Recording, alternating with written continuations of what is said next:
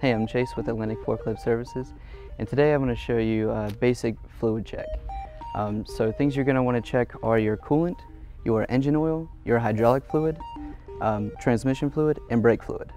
So uh, the engine oil is located near the back of the, the front of the block. Just pull it out like so. There are two markings, one for low, one for high, and it should be directly in the middle of the dipstick.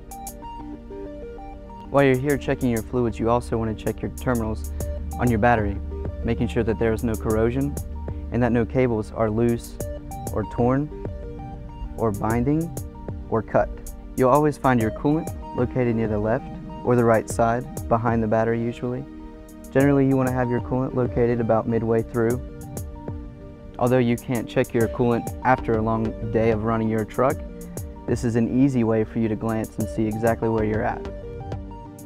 It is also very important to check your hydraulic fluid level every day before startup.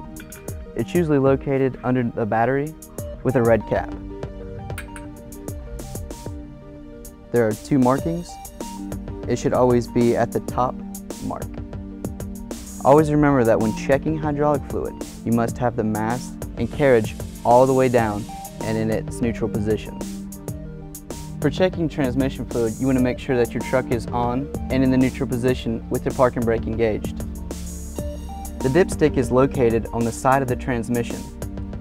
There are two different ways to check your fluid, one for cold and one for hot. Your brake fluid is very important, and you want to check that on the left side of the dash next to the parking brake. You should always make sure that your brake fluid is up filled to the top. As long as you're checking fluids, you also want to check your air cleaner. It's got three clips on the side, like so. You have two different filters, one for the outer and one inner. If you work in a dusty place, you have to blow these out daily to make sure that your engine runs at its top performance. If you have any questions about preventative maintenance, We'd love to assist you in that area. Just give us a call or shoot us an email.